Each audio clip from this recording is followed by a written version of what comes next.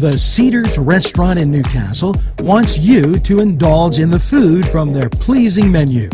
The Cedars features Mediterranean, pub food, Middle Eastern cuisine, and so much more. They're open every day 11 a.m. to 10 p.m.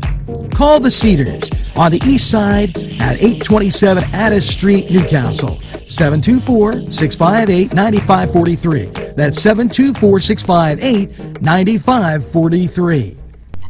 Hello and welcome to the Cedar Sports Corner, and let's get right to it. Well, yes, those Pittsburgh Penguins in action tonight against Ottawa, and that's at home down in Pittsburgh, and there's nothing better than a little home cooking. Now, uh, as we turn to Major League Baseball, and uh, the Buccos, they're taking a day off.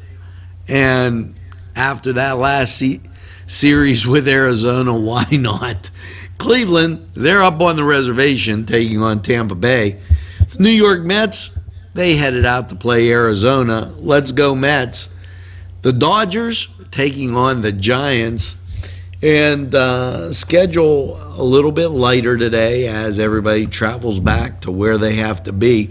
Now, over in the NBA, uh, this will be an interesting matchup tonight as the Washington Wizards take on the Boston Celtics.